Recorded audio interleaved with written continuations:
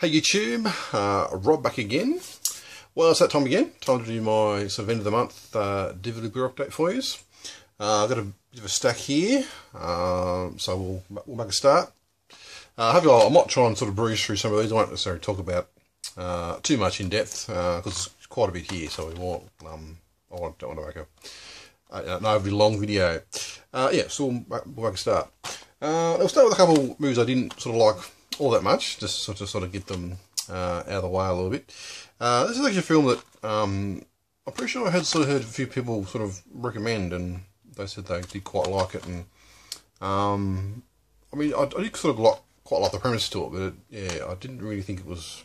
Well, at least I didn't enjoy it. I mean, you know, I guess we can't all make can't all like the same sort of films. And anyway, so this is the uh, the Purge, I think, from last year, the year before, or something like that. Uh, this is for, you know, I didn't quite like the premise to it, and uh, I'm pretty sure I had sort of heard a few people sort of um, recommend it. Um, but I don't know, I just didn't think it was really um, all that great, really. I, I, just sort of found a lot of sort of, I just had a few problems with it, basically. The, some of the characters' actions I thought were really uh, silly, and um, I had sort of heard a few people sort of reckon the villain was quite good too, but um, I didn't think he was really all that all that amazing, if you sort of, you know, ask my opinion. Um, I sort of found him to be much sort of a cliche. It's like he sort of wore a suit and sort of, you know, had some like an education sort of thing and talked with big words and. But yeah, he was like a you know a psychopathic killer sort of thing. But yeah, he was really sort of you know polite and you know I don't know. To me, it was just sort of stuff I'd sort of seen back in the nineties, you know, sort of thing. So was, to me, it was nothing really original. I didn't think. Um, the premise is quite good though. Essentially, I suppose people know what it's about. Roughly, just about sort of the the government sort of puts this thing in the purge, basically, where they sort of you have sort of uh, it's like twelve hours. You can pretty much commit any sort of crime you want, and it's you know in that time within that sort of time period and um, sort of thing. And um, but I just sort of found the execution wasn't really all that great. I didn't think, and um, I just sort of found some of the character actions was you know rather silly. Um, but you know, I have sort of, I'm pretty sure a lot of people did think it was, they did quite enjoy it, and, you know, that's fair enough. We can't all, all like, you know, sort of the same films, I guess. Um, but it's just for me, I just didn't sort of, I don't know, I didn't sort of quite enjoy it as much as I was uh, hoping to, anyway. So that's um, The Purge. Um, on to another film. There's actually a movie that I, I guess it's my own fault, really. Um, it's a film that it's supposed to, I thought was as a classic. You know, uh, I sort of got far, uh, sort of halfway through it, and then I realised this is this must be a, a remake because this is not the you know, the original version of it, and um, it, it was just a film I just thought was absolutely terrible. To be honest, it was. You know, I wouldn't sort of go as far as saying it's probably one of the worst films that I've, I've ever seen, but I thought it was pretty, you know, pretty goddamn terrible. That's uh, the Pit and the Pendulum. So this is definitely not the original uh, the Pincushion, well, Vincent Price, that would have been Vincent Price, I think, in the original one. Uh, this one stars Lance Henriksen, which I'm a bit of a fan of. Um, I think he was not too bad in the film, but the rest of it I thought was just bloody awful. Sort of set during sort of the Spanish uh, Inquisition sort of thing, and uh, sort of the witch hunters sort of going around and basically sort of you know accusing people of being witches and sort of uh, torturing them until they sort of you know um, say that they are, you know, witches sort of thing, so then, then they're sort of burn at the stake, you know, type, vicious type stuff. Um, but I don't know, I just thought it was just terrible. I thought it was just a lot of just pointless sort of scenes to it and a lot of over the top sort of torture scenes to it and um, very sort of, I guess, sort of theatricals to it, I suppose, to it, very sort of, I don't know, it was, I don't know, I don't want to talk about too much, but I just thought it was just bloody awful and I wouldn't recommend it.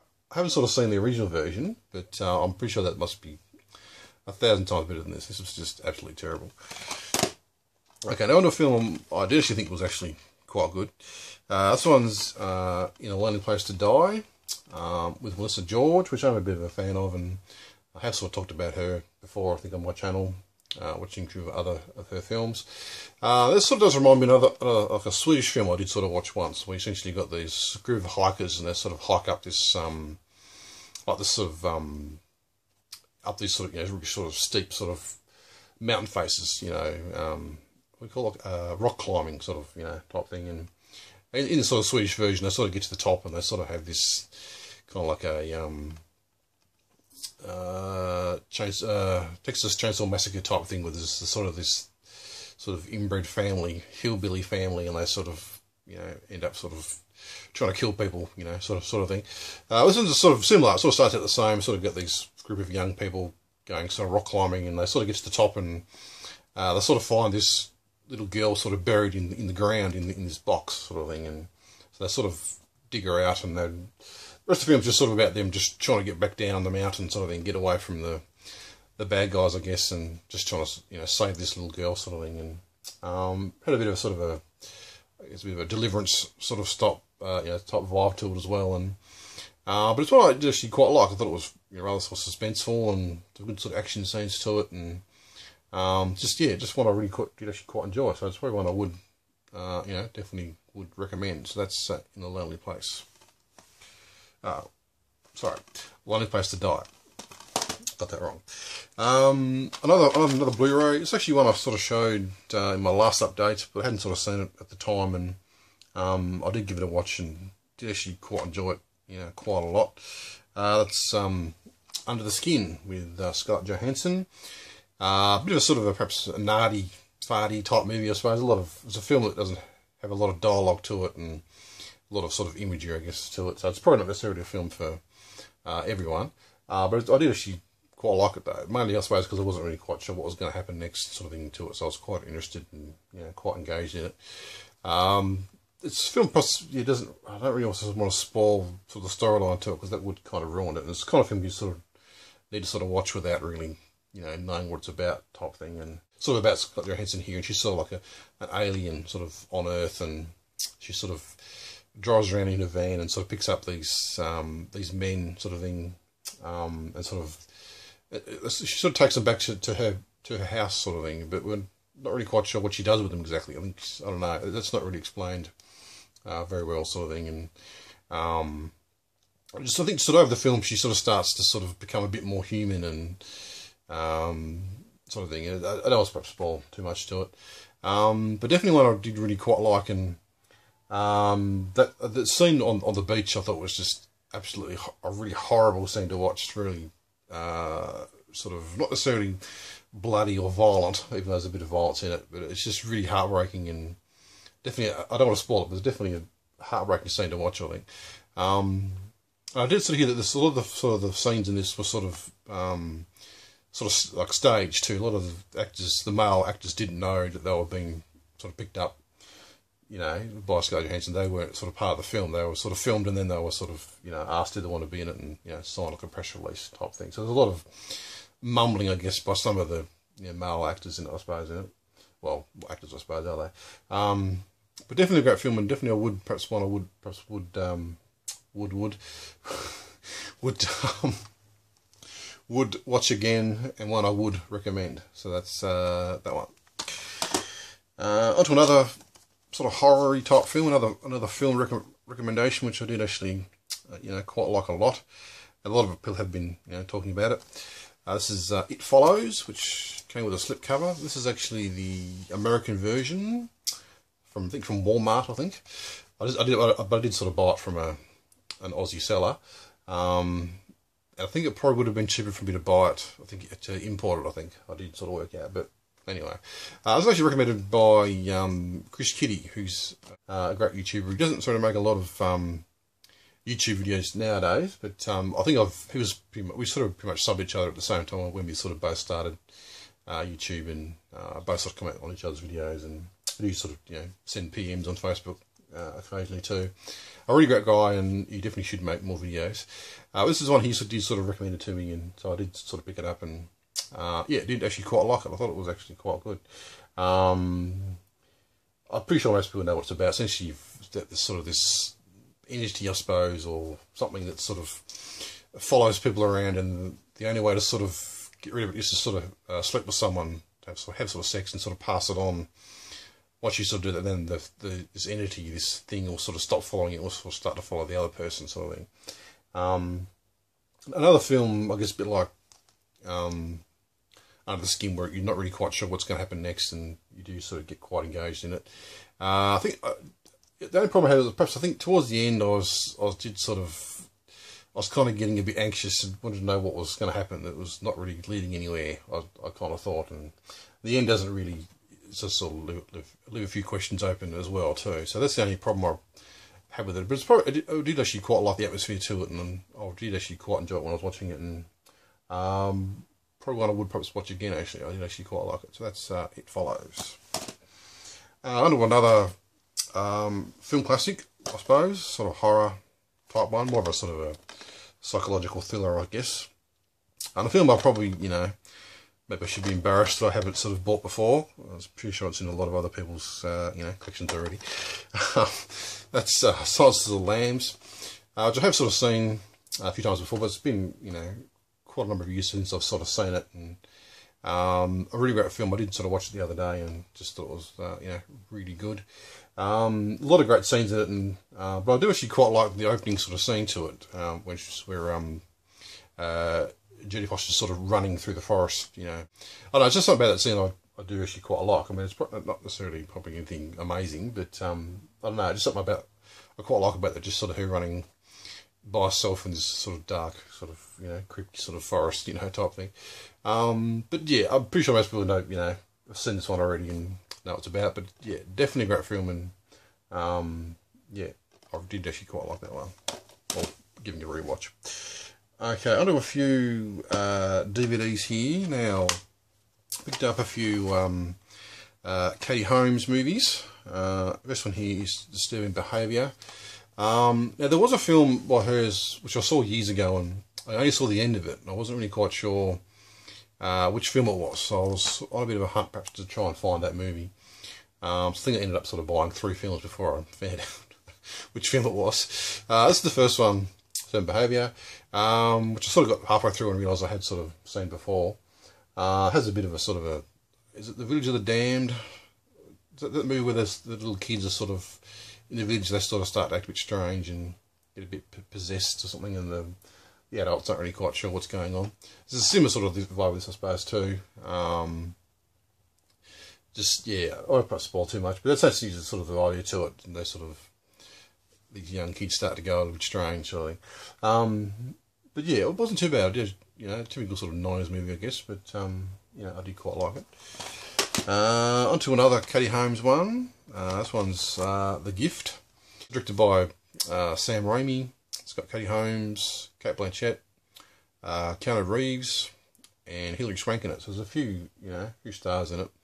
Um, I actually quite like this one. I thought it was actually uh, quite good. Uh, again, a film I think I got halfway through and realised I had, you know, sort of seen it before. Um, but I'd sort of forgotten that I'd, that I'd sort of seen it. Uh, essentially sort of about, I guess, um, Cate Blanchett and she's sort of like a psychic in sort of, sort of the small country town, I suppose, and uh, that's how she sort of, you know, makes a living top thing. And uh, anyway, uh, Katie Holmes sort of gets uh, murdered, um, and the police aren't really, you know, quite sure, you know, who did it, sort of thing. So they sort of turn to the psychic, even though they're not really, you know, don't like the idea of turning to a psychic. But um, they ask her, did she know anything about it? And she sort of says no, but she does sort of start to have these uh, visions, I guess, of you know, of you know who it might be, sort of thing, and kind of did sort of lead um, lead her to believe that uh, you know Keanu Reeves is probably the one that sort of uh, you know, murdered the Katie Holmes character. And uh, I won't sort of spoil too much to it, but I thought sort of, you know, Cate Blanchett was actually really good as well. She put in a great performance, I thought. Um, yeah, so that's that one. Uh, and following on to the film that I actually sort of have that scene in it. Uh, this one's um, Abandoned. Uh, essentially sort of about Katie Holmes and uh, she um, she's sort of going to this sort of like a rich sort of uh, college, I guess, and uh, but we sort of find that sort of a few years prior, her, her boyfriend sort of, uh, disappeared, and no one's really no one's really quite sure, you know, where he got to, you know, type thing. Um, and just sort of about sort of the, sort of this detective comes along, he sort of tries to sort of find out what sort of happened to him, and I won't sort of spoil too much, but um, yeah, I, I actually quite like it though. Uh, I think I had sort of seen the end to it, so that kind of did spoil the movie, I suppose, in some ways. Um, but definitely, yeah, I did actually quite like it. Thought it was uh, yeah, quite good. Okay, now on to a few classic sort of golden age of um, Hollywood, I guess, you know, type movies. Uh, a couple of uh, Cary Grant movies. Uh, here's um, to Remember with uh, Cary Grant and Deborah Kerr. Uh, I had something in my kitchen for a little while, but I've never sort of seen it before and uh, decided to give it a, a bit of a watch. Um, I think it's actually supposed to be number four ranked in the you know, best romance movies of all time. Um, I probably wouldn't sort of go that far. I thought I, I think I did quite like it, but I wouldn't sort of say it was one of the best. Uh, well, movies I've ever seen, or one of the best romance movies I've, I've, ever seen. Not that I've sort of watched too many romance movies, I guess. Um, actually, just sort of about these two. and They sort of meet uh, on like a boat uh, on an ocean liner, and um, sort of a bit of an affair, even though they're sort of you know both married to other people. And they sort of have this thing where they sort of you know obviously the you know the void genes, so they decide to uh, say to each other, "Well, we'll meet again in, in, six months' time. If we still feel the same about each other, we'll sort of meet on top of the uh, Empire State Building, and you know we'll you know get back together." Type thing in, six months' time. And but, of course, one of them doesn't sort of end up making it. Uh, you know, to the they had a bit of an accident on the way, and you know don't sort of make it. Um, but yeah, I did actually quite like it. Um, the only problem I had, perhaps, what I thought was uh, Cary Grant's performance. I thought was a little bit sort of phoned in. I thought he's um, like he was sort of delivering the lines, but there was no real sort of emotion behind them. I didn't think. I don't know. I'm not sure whether that was just me, maybe, but I just thought he was really didn't want to be there. You know, that's kind of the impression I got. Uh, anyway, so that's uh, an affair to remember. Uh, onto one that's probably um, probably not probably a bit sort of I don't know, I'd never sort of heard of it before. Uh, Indiscreet, again with um, Cary Grant and uh, Ingrid, yeah, Ingrid Bergman. Um, another sort of just romance film, nothing really. I, I, didn't mind it, but nothing really fantastic, I suppose. Uh, next one is um, North by Northwest, uh, directed by um, Alfred Hitchcock, again starring uh, Cary Grant. Just essentially about Cary Grant, he sort of gets has a bit of a mistaken identity. So he's sort of on the run, very much like I suppose the you know the Harrison Ford movie, the the Fugitive, very much like that I suppose. He sort of goes on the run to you know try and clear his name, you know type thing. Um, yeah, quite good though. Has some really great scenes to it, and has the you know the infamous or famous um, sort of crop dusting scene where someone's trying to kill him by plane, sort of thing. Um, but he has some really great scenes to it, I thought, and um, yeah, quite good. So that's North by Northwest. Uh, this one's actually a sort of a, a, black and white sort of French film from 1959, a bit of a classic apparently. Uh, this one's um, Breathless, directed by Jean-Luc Godard, very sort of famous director. Um, this is supposed supposed to be sort of one of the yeah very sort of first sort of uh, sort of French new wave films, and it was apparently a very sort of influential film as well. Um, I thought it was just a load of wank, to be honest. If I've got to be really blunt, I just thought it was just crap. Like it was really sort of I don't know arty farty sort of thing, and um, it's a film that sort of you know two characters and they just sort of very sort of dialogue driven and they just talk and walk around and nothing much happens really. Um, I found the main sort of character here, he was just a real asshole.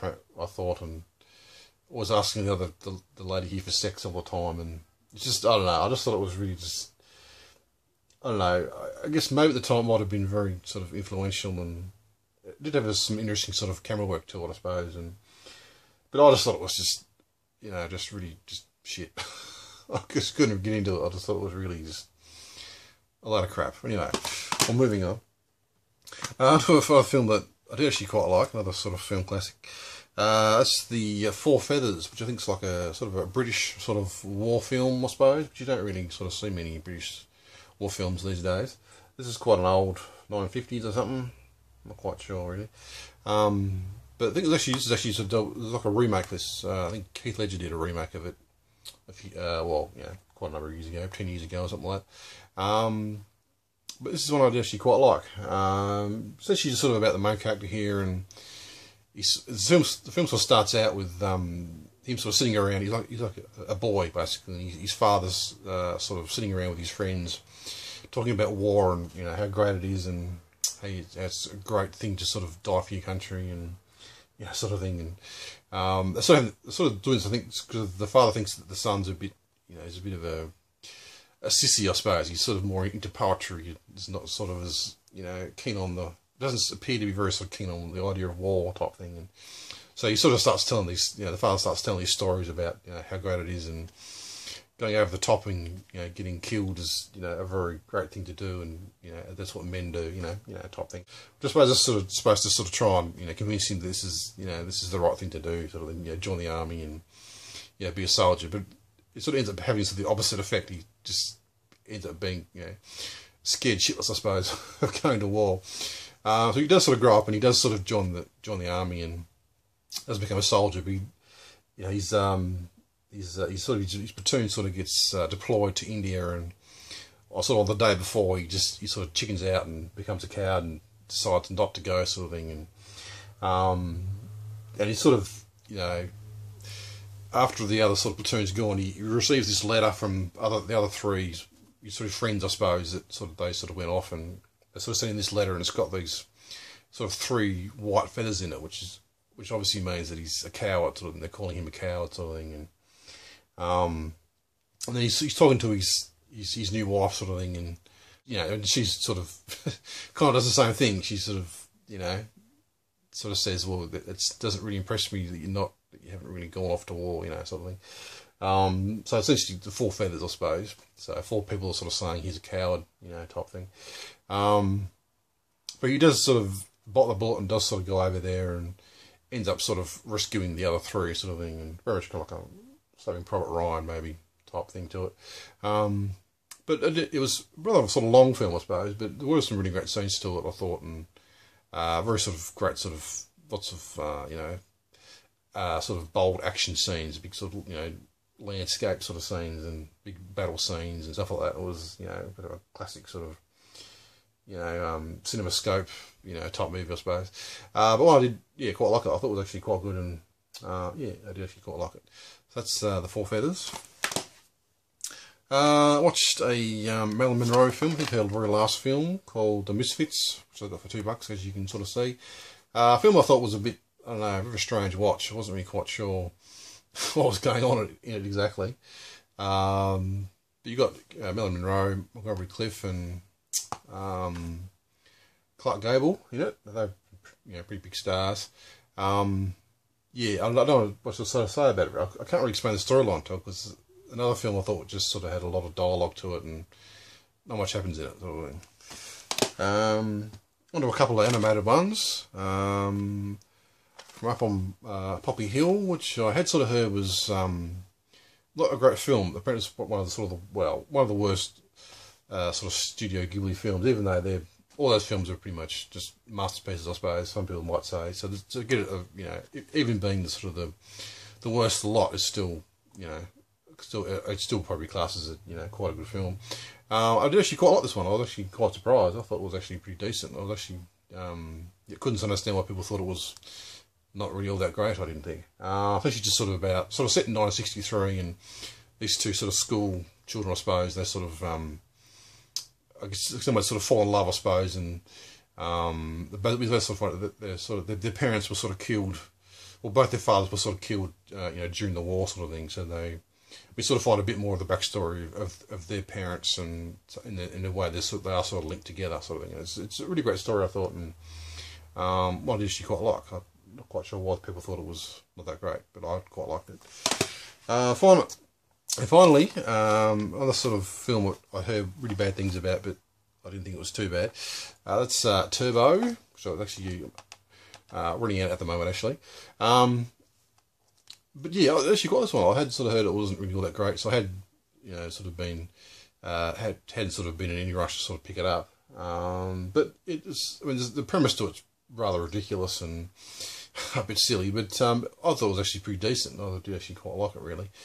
Um, well, sort of go too much detail, I suppose, but yeah, it was. I did actually quite like it. Anyway, that's my huge update. Uh, hopefully, I didn't ramble on uh, too much. Uh, yeah, if you see these films, certainly leave me, leave me a comment, tell me your thoughts, and that's it. Thanks for watching, and yeah, I'll see you all soon. Bye.